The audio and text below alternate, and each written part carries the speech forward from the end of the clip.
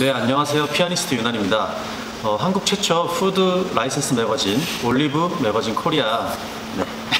촬영차 지금 청담동 빨레 드 고몽에 나와 있습니다. 청담동 빨레 드 고몽은요 프랑스식 어, 코스 요리 어, 굉장히 맛있고요. 또 인테리어도 굉장히 고급스러워서 특별한 날에 이렇게 찾아오는 곳입니다.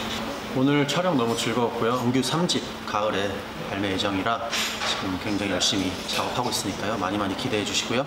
올리브 매거진 코리아 9월호에도 제가 어, 나오니까요. 많이 많이 기대해 주세요. 감사합니다.